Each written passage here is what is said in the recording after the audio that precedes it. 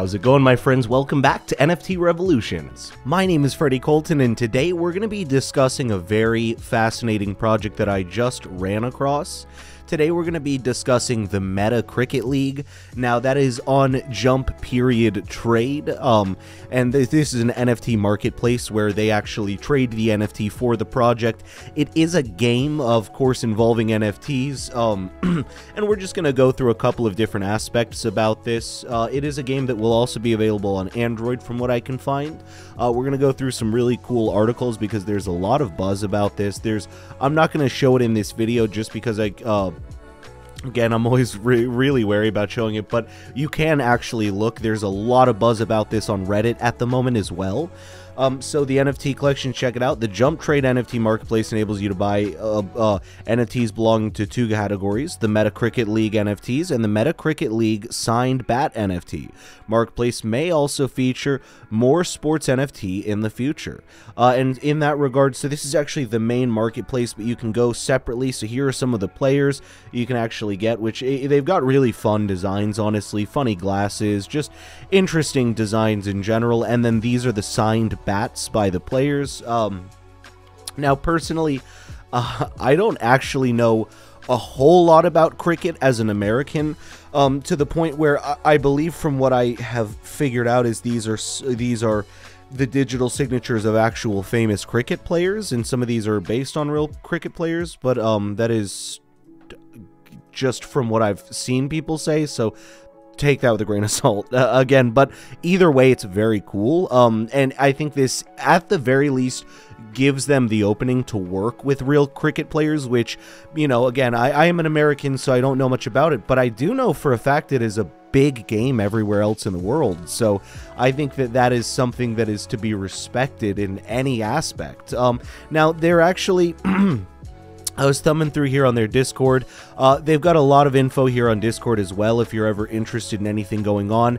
A lot of, um, which it's pretty cool actually. They have a Hindi and a Tamil chat as well, which I think is uh, really cool to sort of have that diversity of language in any project because I think it opens up your options quite a lot. And of course, in other countries than English speaking countries, there are, you know, billions of other people. So it's really not a bad idea. Looks like I had a little collar flip right there. Just got to pop it back into place. Um, and then we can see here Jump Trade NFT. Now this is their um, excuse me, their official Instagram account, just over 9,000 with almost 9,000 over here on Twitter. Uh, and we can see authenticated Cricket digital collectibles bring the heat to Meta Arena. Join the community.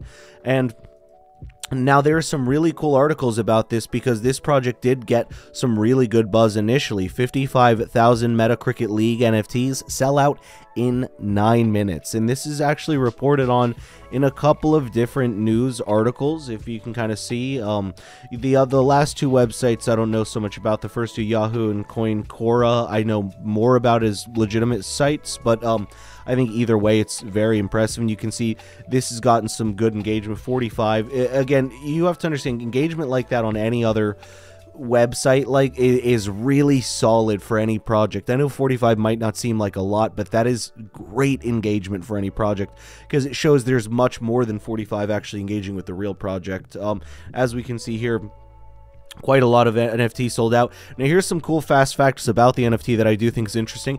It is now priced at 25 plus each. Uh, some of them are much more depending on the rarity, and they actually initially sold at 1250. So um, this project is technically doubled, more than doubled um, already. Actually, well, doubled at 25, but uh, I believe a lot of them are going for closer to 30 plus um, from what I could see on the market.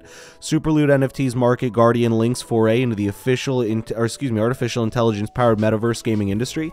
ERC 721 NFTs held a unique smart learning system powered by the game's AI, were minted on GuardianLink's Layer 2, which works across bridged networks of Polygon, Ethereum, Avalanche, and Solana. Meta Cricket League's a new play to earn P2E game that allows players to earn rewards by climbing their leaderboards. And while I'm thinking about that, of course, let me make sure to give this, I apologize doing in the middle of the video, but please do keep in mind this is not financial advice. I am in no way a financial advisor, purely just a crypto geek who loves to discuss fun, cool new projects that I run across. So with that being said, please do keep in mind, take everything I say with a grain of salt you know, don't invest in something just because I talk about it. Please make sure to do a modicum of your own research on any project you decide to invest in for yourself. But we will jump back into the research together. Jump Trade is expected to launch Chelsea Football Club collectibles, which is cool. NFTs featuring exclusives such as tickets, signed postcards, and photographs representing the team's history from 1905. And I am smart enough to know that Chelsea is a real football team. Um, as anyone else in the world would call football, uh, I think soccer. I'm so sorry. I'm so sorry to all of you.